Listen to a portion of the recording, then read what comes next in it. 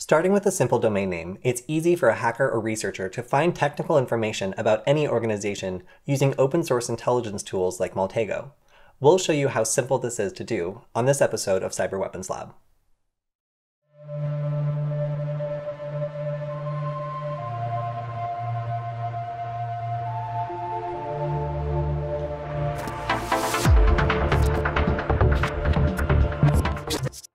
Open source intelligence tools like Maltego allow you to take a small detail you know about an organization, like a domain name or a website, and turn it into a whole complete picture of the technical details behind a particular organization's network.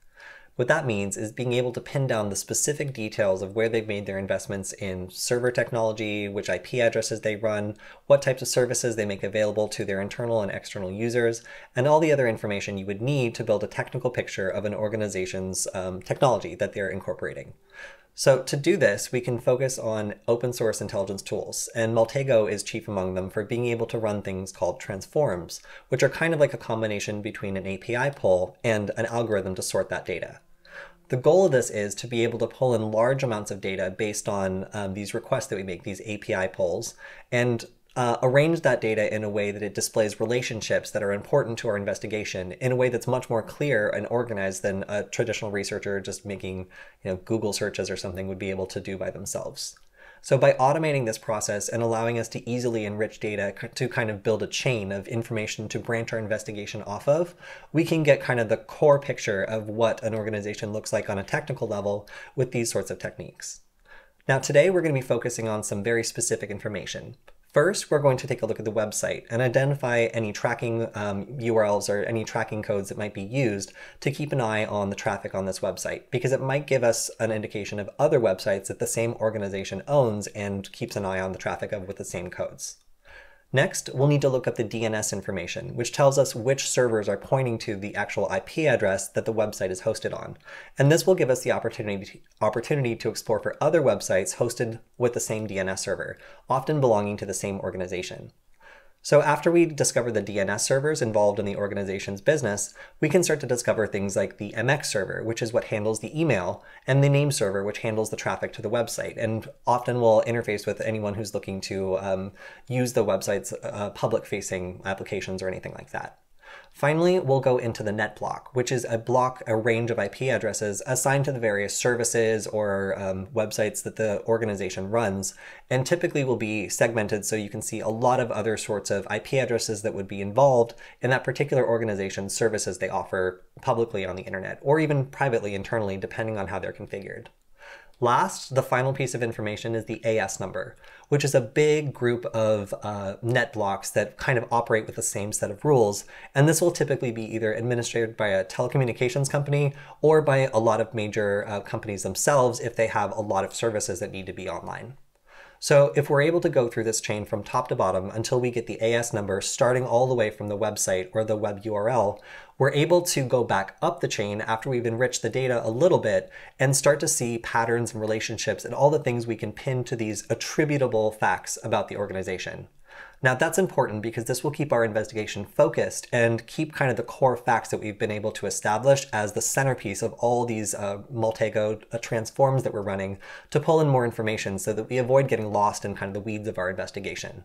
So the point of this is to effectively and efficiently find the technical information behind an organization so we can make our investigation as streamlined as possible and ensure that we're able to come back with the right information the first time we run this process. So in order to do this, you'll need to have either Kali Linux installed, as Maltego Community Edition is installed by default, or you can go ahead and download the Maltego Community Edition and just run it on your platform because it runs on Java. You have to have Java, but once you do, it will run on basically any operating system.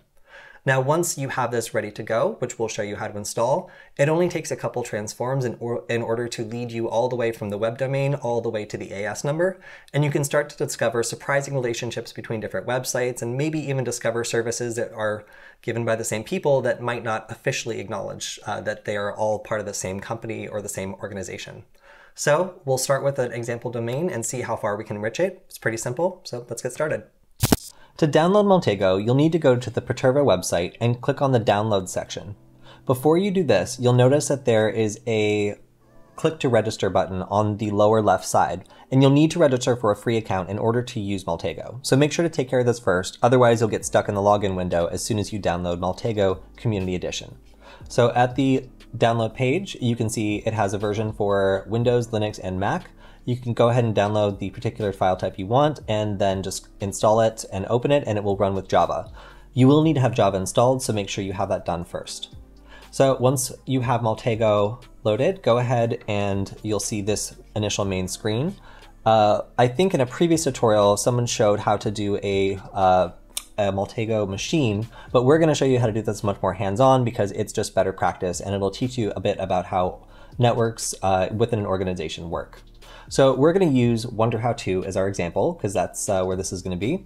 So we'll take the domain of uh, wonderhowto.com and click on the domain alias and just drag and drop it from the left side onto the main canvas window. So we can type in wonderhowto.com oh, correctly. And then from this initial uh, URL, we can get started with doing some of the uh, building of the chain of the hard technical details of this network. So the first thing we're going to look for is go from the URL to the website. So this will have the actual website associated with it, and we can use a quick lookup to do that. So once this transform completes, then we have a website that is uh, loaded into Maltego, and we can right mouse click on it and then search for any tracking codes that might be in use on other websites that the same organization uh, owns. So in this case, we get a tracking code back, and we can use this tracking code to find other uh, websites. We'll type in other, and we see two other sites with the same code. Now, if uh, this organization happened to own a bunch of other websites and use the same tracking code on them, this would be how we could figure that out. But in this case, it looks like they're not using a tracking code that's used elsewhere. So that's a little bit of a dead end. But we can take the Wonder How To uh, domain and we can still start to search for the next step, which is the MX server, uh, which we can do uh, to DNS name MX server. And then we can also, there we go, we can see they use a Google Mail, uh, Google, yes. So they use Google services for their email. That's important and useful to know. And then for uh, NS servers, name servers, we can use see. Name server. To DNS name, name server. So by right mouse clicking and going here, we can see Google Cloud uh, and some other stuff that's associated with these domains, name servers, and finally we can type DNS. So there's actually a number of different DNS queries you can make. Community Edition may be uh, partially uh, restricted in how many results it can bring back, but in general, you can learn a lot about the DNS settings and uh, other websites that might be located on the, on the domain from the DNS. So we'll do a couple things. First, we'll do to domains DNS, which should give us any other uh, domains that are on the same DNS server, and then also to DNS name interesting. So you can try a couple of these transforms and see exactly what happens. But in general, if you do something like uh, find common DNS names, you can see two DNS servers pop up. And then if we do to DNS names uh, via interesting, this will give us a new set. So we can see we've got two DNS servers now that are responsible for looks like a mail server and then a wildcard in use. Now to find more information about the DNS, I can also refer to the website and by typing DNS into the transform window, I can click to DNS name, enumerate host names numerically, and just go with the default settings, and then to IP address DNS. So this gives me the IP address of the DNS uh, server, and I can click to DNS name, other DNS names, to kind of uh, enrich this and see if I can find more DNS servers on the same IP address. And here we can see, whoa, a bunch of interesting stuff. So we can see violin and viola.wonderhowto.com, outdoor games, OnePlus, I guess for that cell phone, and some other interesting things that I won't go too much more into, but you can see that there's a whole bunch of DNS servers that have now been added that we didn't know about before. So from just the domain, we've now gotten all these other um, DNS servers that refer to other parts of the website we never would have known about had we not done this kind of research first. So now that we have these DNS servers, we can select everything by pressing Command or Control A, And on the right side, we see that there's this little window that allows us to organize our stuff by the type of entity. So I can select then within this all of the DNS servers and attempt to resolve them to IP addresses because that's the next step. So from our DNS servers, our MX servers, our NS servers, we're going to find as many IP addresses as possible because that will give us the ability to learn more about what this organization has and find different ways that we can hopefully get in or understand more about what it is they're doing. So I'll go ahead. Hmm. It's gonna let me do this resolution. It looks like we found a couple different new IP addresses. So we can see, here they are, by selecting all and grabbing these we can take the next step up, which is to resolve these to a net block. So IP addresses will be located in a block of IP addresses that are allocated to a particular provider. And we'll use the uh, net block using routing, routing info to get hopefully the most um, accurate different picture we can of the net blocks involved in this organization's structure and the services they provide. Now, this isn't a complete picture. We can enrich this much further, but we kind of want to hurry down the chain and get these hard details about the organization. So once we can attribute them positively to this organization, we can go back up the chain and start enriching the data that we've already found and positively attributed. So now we've yielded a couple different net blocks. We can grab these and then select only the net blocks. And when we select them, we can look for the AS number. Now, the AS number is a top level service number that is provided by telecommunications companies and such to uh, provide a, a, large set of switches that uh, all kind of operate the same. And this will give us an indication of like a server or, or, something else that has a whole bunch of different services running on it. And we can see that we have a server or an AS number in Mountain View and then a server in Los Angeles, California.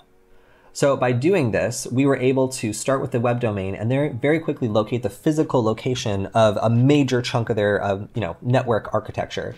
And we can even start to see the subdomains and, and sub uh, DNS servers that are distributing traffic and responding to requests across the website.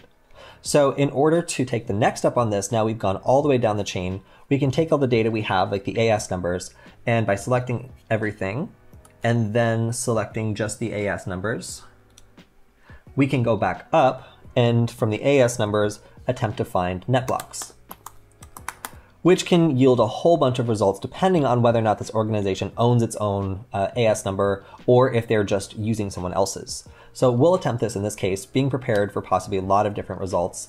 And again, you should remember that net blocks are huge ranges of IP addresses. So here we've generated a whole lot of them, and upstream, if we were to select these and then enrich them further to find, let's say, DNS servers within them. So we're going to try to find any websites associated with our target by jumping up the chain a bit and looking for DNS because we can see right in the domains, oops, DNS, whether or not they're relevant to our target. So this will run all these transforms and we see, boom, we've expanded our data substantially. And now we can see uh, Google user content, so we can get an under wow, still going.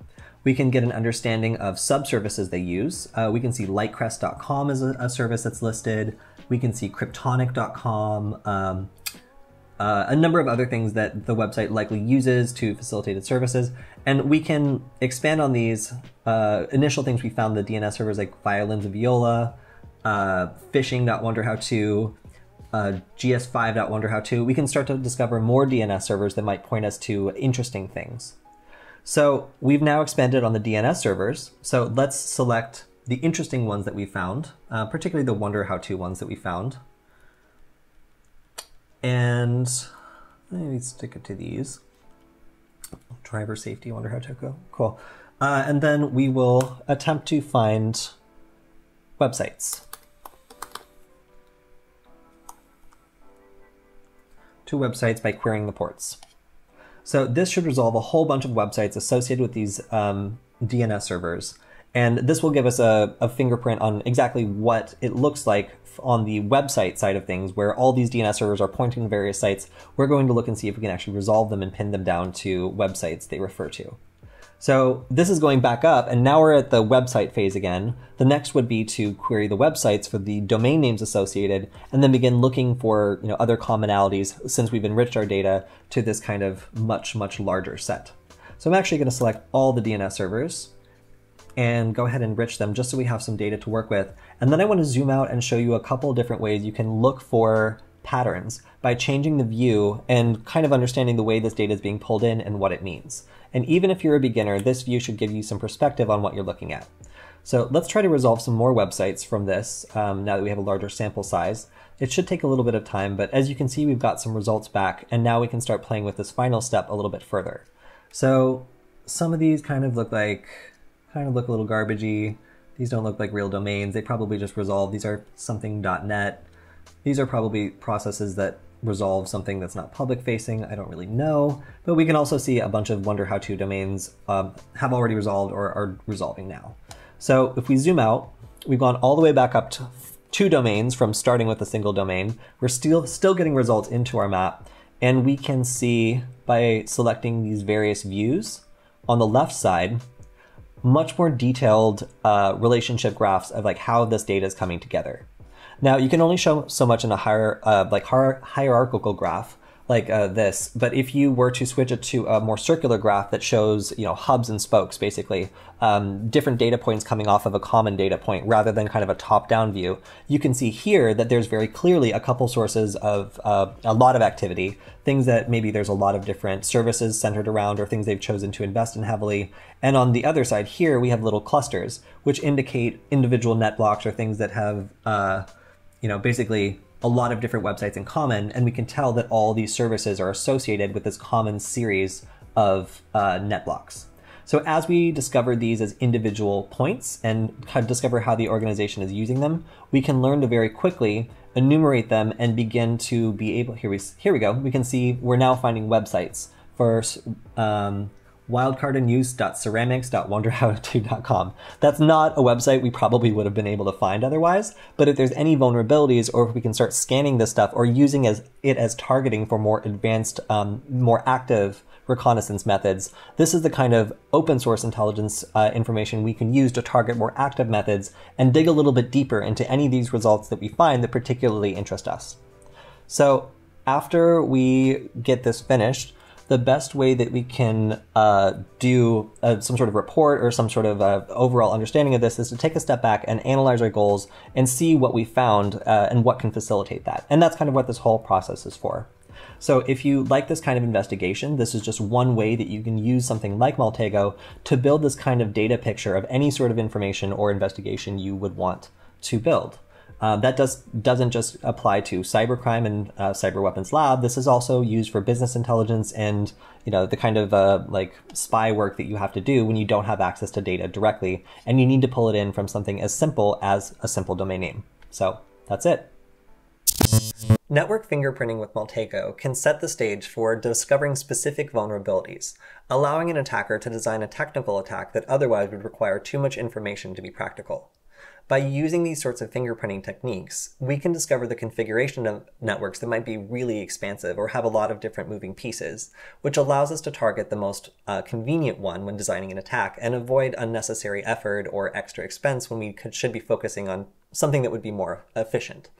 So to do this, we'll be exploring relationships, building a complete understanding, and generally profiling the target to be the most efficient we can possibly be when we're actually moving into the attack phase of uh, some sort of like hacking engagement.